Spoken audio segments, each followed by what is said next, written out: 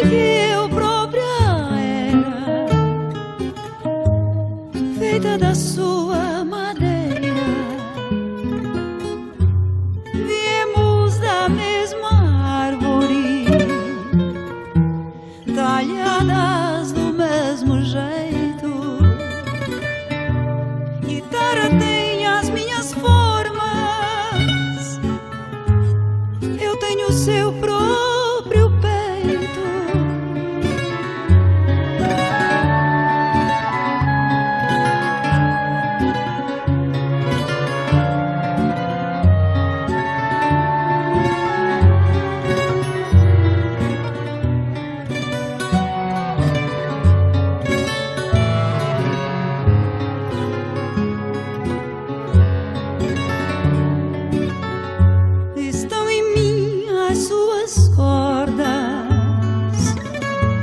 e até amar.